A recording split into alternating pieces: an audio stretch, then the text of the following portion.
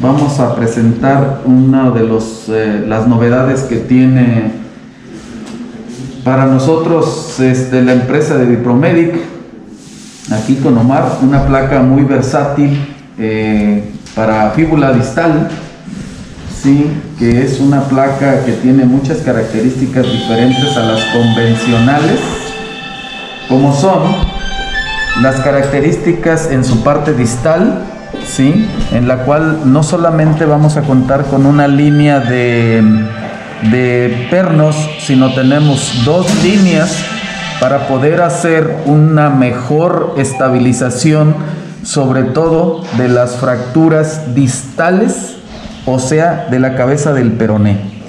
También mm, denominadas infrasindesmales o tipo A de Weber.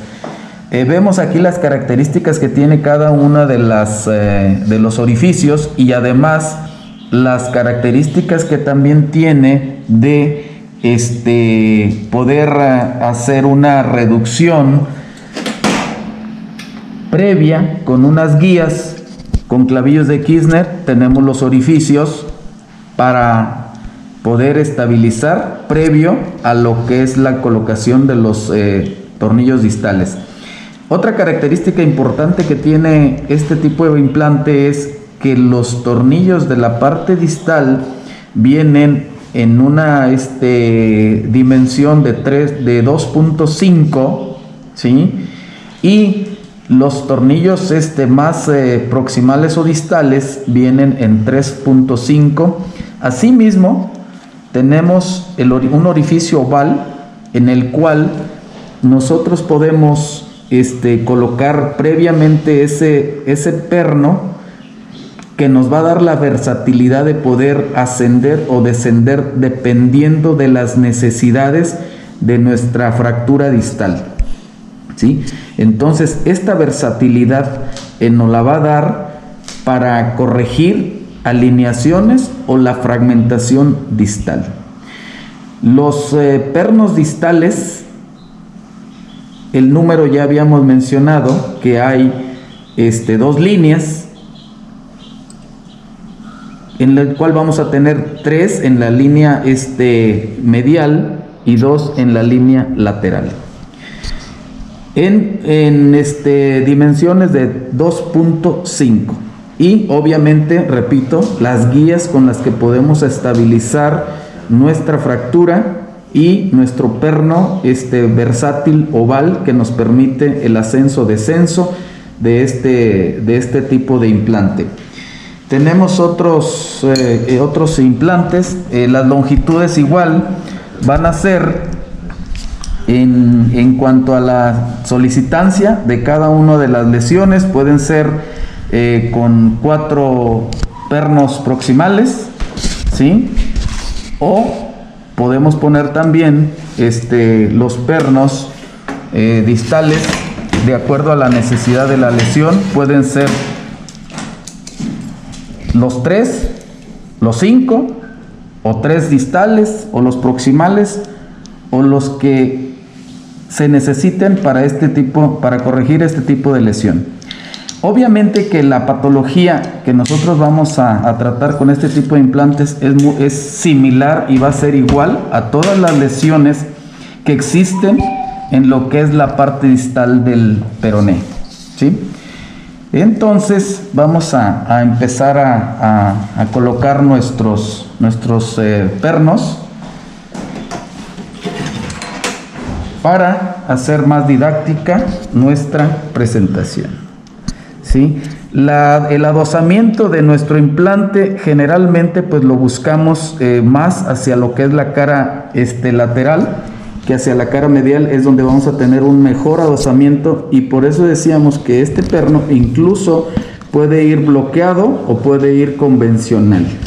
Vamos a ponerlo eh, aquí en la parte del, del centro para poder este, hacer nuestro ascenso o descenso de este, de este tipo de implante y asimismo poder este,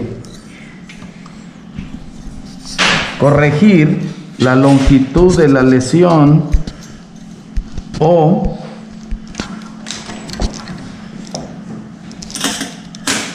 mover nuestra placa hacia la zona donde nosotros necesitemos ascenderla o descenderla.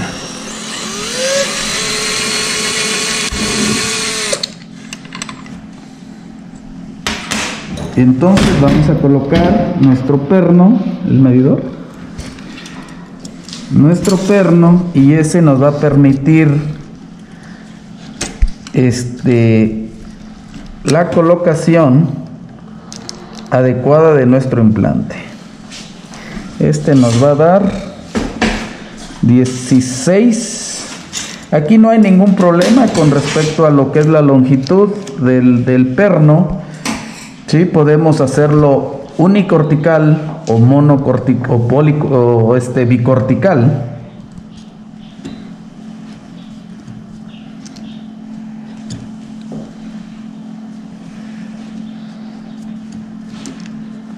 A ver si me ayudan un poquito ahí.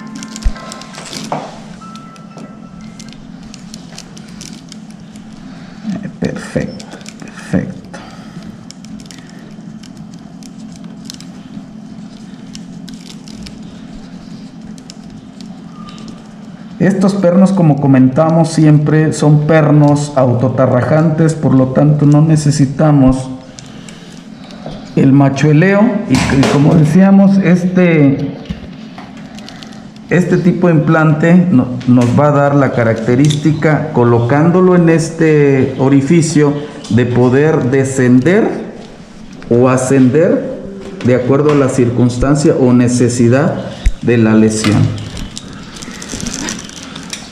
Entonces, si se fijan, aquí tenemos lo que podemos descender con el implante y lo que podemos ascender. Vamos a dejarlo en esa posición que es el desarmador. Entonces vamos a tratar de dejar este implante lo más distal posible. Pensando en que tengamos una fractura compleja de la cabeza del peroné.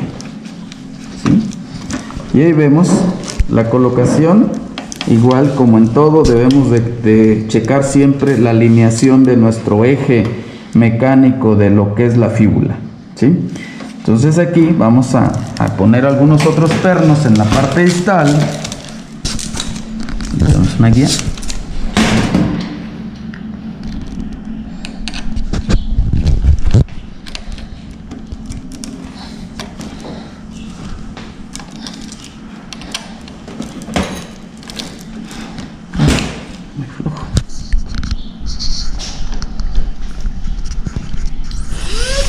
Las longitudes de los pernos, pues igual que en cualquier otro de los este, implantes, van a ser muy similares, van desde los 14 milímetros hasta los 22 milímetros. Medimos y ahí tenemos un 20. Entonces vamos a poner nuestro perno de 20 milímetros. Sí, este decíamos que las, caracter las, características de estos distales, si quieres lo, lo, mostramos, lo vamos a mostrar y vamos a ver que es eh, diferente porque es un perno 2.5 con este rosca autoterrajante y en la cabeza su rosca de bloqueo.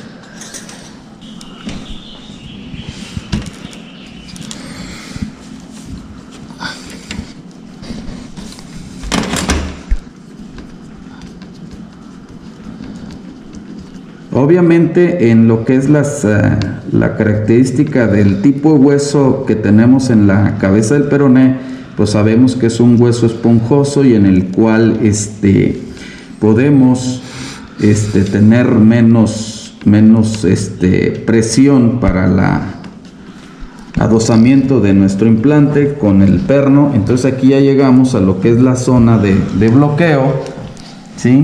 Y, ahí así, así nos va a quedar nuestro, nuestro implante, ¿sí?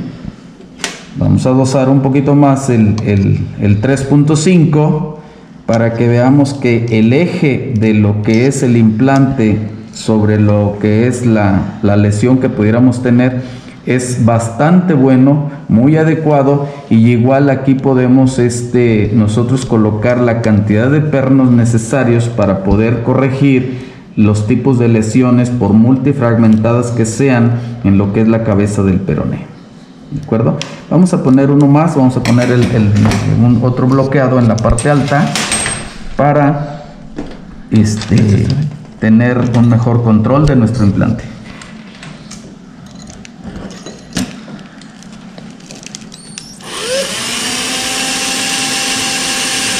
Entonces las brocas que usamos aquí también va a ser la, la 27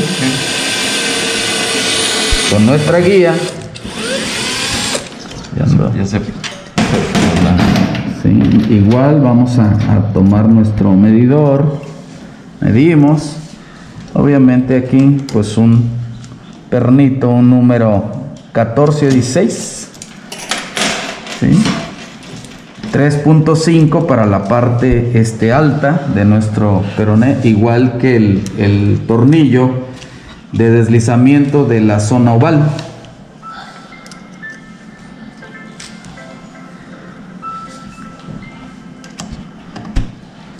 Entonces, nos acordamos que estos tornillitos son autotarrajantes, no necesitamos el machueleo con mucha facilidad tenemos un gran adosamiento.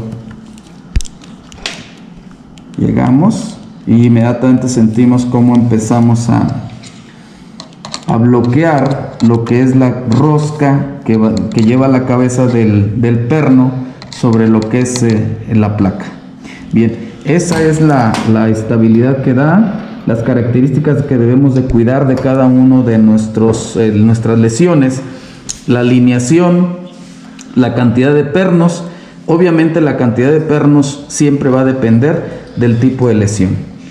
Una fragmentación en la cabeza del peroné quizás nos haga o nos necesite que debamos de colocar todos los pernos y se, se fijan los pernos de la parte este, de la cabeza del peroné, acordémonos que van a ser 2.7 y los de la diáfisis o del eje de la, del, del peroné en 3.5. Entonces, eh, labramos con la misma broca, pero el perno es el único que sí vamos a tener que cambiar. Bueno, una placa muy, muy versátil creo que muy buena y que nos eh, ayudará a resolver la mayoría de los problemas que en esta región se suscitan. Muchas gracias.